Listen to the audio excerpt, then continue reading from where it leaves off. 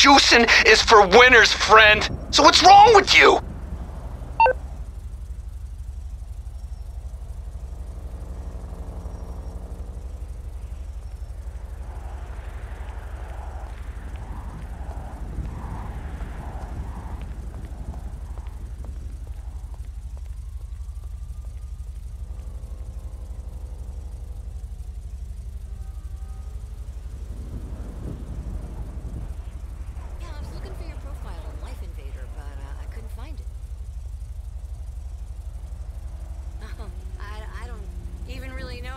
My email.